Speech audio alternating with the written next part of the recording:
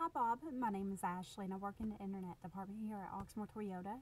It has come to my attention that you are interested in a new 2016 Tundra.